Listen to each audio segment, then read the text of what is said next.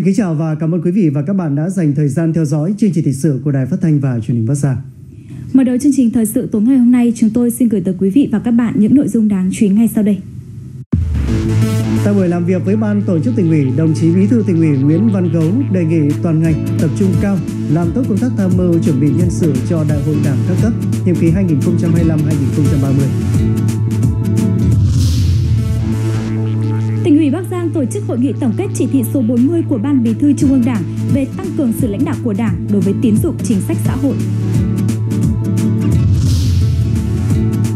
Đẩy nhanh tiến độ xử lý hai sự cố sạt lở cống xả qua đê tại K20 cộng 300 đê tả cầu Quy Điệp Hòa và gãy gong cánh cống 4 tại K38 cộng 150 đê Hữu Thương, thành phố Bắc Giang.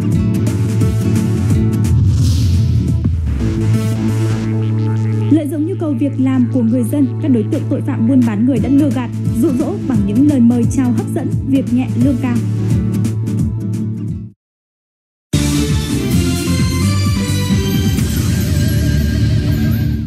Bây giờ là nội dung chi tiết. Thưa quý vị và các bạn,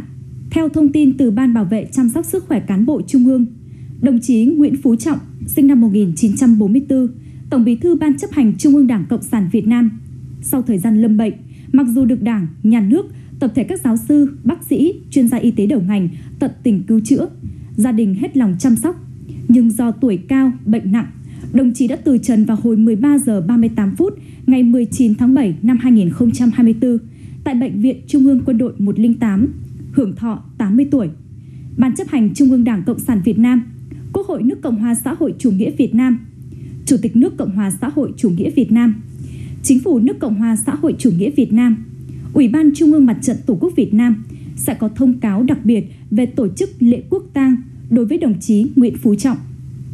Tại buổi làm việc với ban tổ chức tỉnh ủy sáng nay về tình hình kết quả công tác tham mưu, nâng cao năng lực lãnh đạo sức chiến đấu của các cấp ủy, tổ chức đảng trong đảng bộ tỉnh và xây dựng đội ngũ cán bộ từ đầu nhiệm kỳ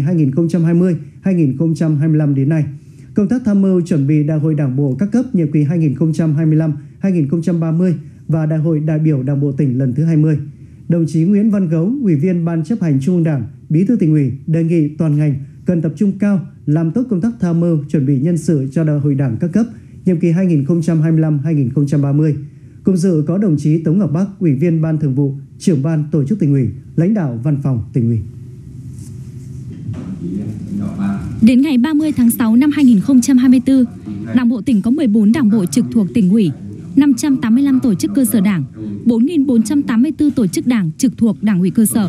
Ban tổ chức tỉnh ủy đã tham mưu nâng cao năng lực lãnh đạo, sức chiến đấu của tổ chức đảng. 100% tổ chức cơ sở đảng, tri bộ trực thuộc đảng ủy cơ sở đã sửa đổi, bổ sung quy chế làm việc, bảo đảm phù hợp